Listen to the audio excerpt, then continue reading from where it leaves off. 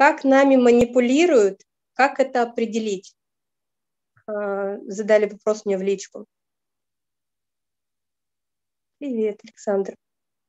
Как нами манипулируют, как это определить? Ну, во-первых, начнем с того, что если, вами, если вы чувствуете, что вами кто-то манипулирует, то это обязательно результат того, что вы сами позволили э, кому-то манипулировать вами.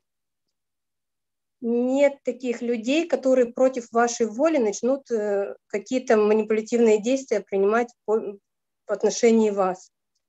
Если вы в чем-то сомневаетесь, если у вас есть какие-то страхи, если у вас какие-то есть эм, вопросы, а ответов на эти вопросы нет, то, конечно же, вами будет намного проще манипулировать, и вы с огромным удовольствием этой манипуляции начнете поддаваться. Потому что что такое манипуляция? Это, это перекладывание ответственности на манипулятора.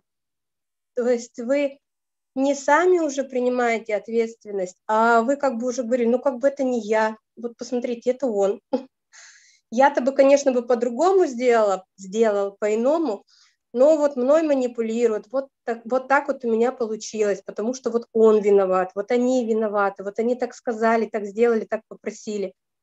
И может быть миллион-миллион отмазок, но это все про то, что вы с себя скидываете ответственность. Как только вы принимаете ответственность за, за самого себя, за ваши действия, за ваши слова, за ваши поступки, то, конечно же, вы даже не обратите внимания ни на какого манипулятора. Вы будете сами для себя а, тем проводником, который, который вас поведет а, в ваше будущее, в вашу жизнь и будет рисовать вашу картину мира.